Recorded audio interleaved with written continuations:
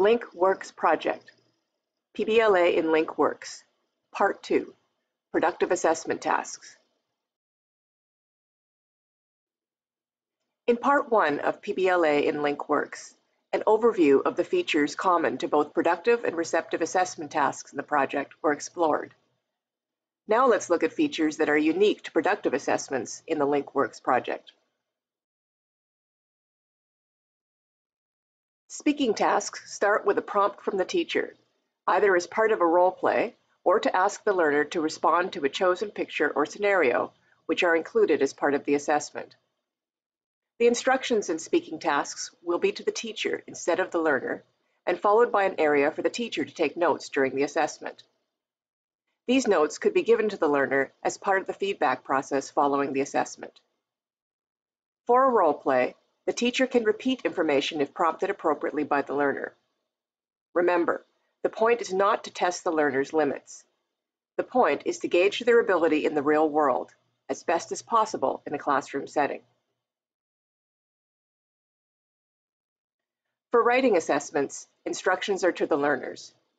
After the instructions, there will be a place for the learners to write.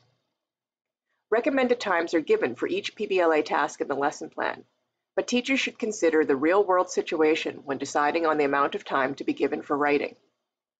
Writing a report of a workplace accident has a longer time requirement in the real world than writing notes to a coworker about what was accomplished during a shift.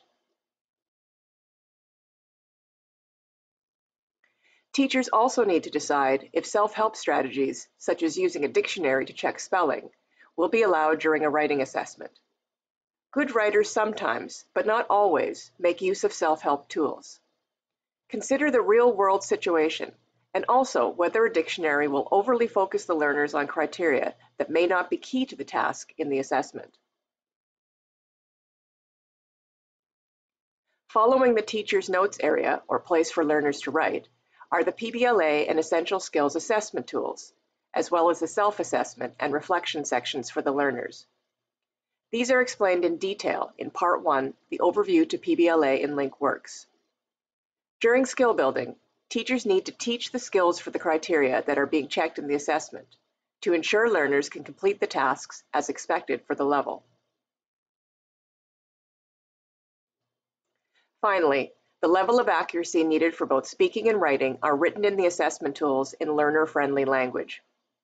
Teachers will need to capture and highlight to learners concrete examples of successful and still improving language for the CLB level during skill building.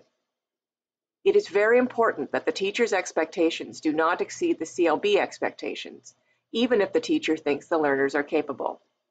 This keeps the assessment results aligned to the national CLB standard.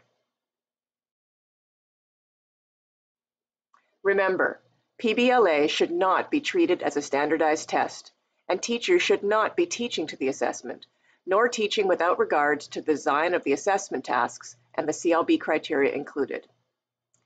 Becoming familiar with the key features of productive assessments will help teachers include these features in skill building and ensure that learners only have to demonstrate what they now can do in speaking and writing. There are four parts to this PBLA in LINC Works Information for Teachers series. This has been part two. Part three of PBLA in LINC Works looks at receptive assessments in the LINC Works project. Part four looks at modifying materials in the LINC Works project to meet learners' needs. Teachers should view all four parts of PBLA in LINC Works to understand how to use and modify the LINC Works PBLA material with their classes. End of Part 2.